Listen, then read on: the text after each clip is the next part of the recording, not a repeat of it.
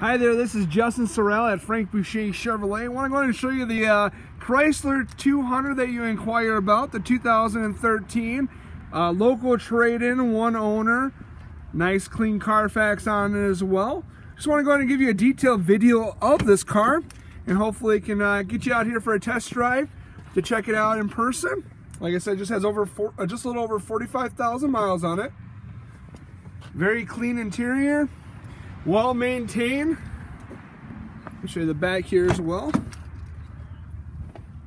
No rips or tears, no stains, a non-smoker vehicle.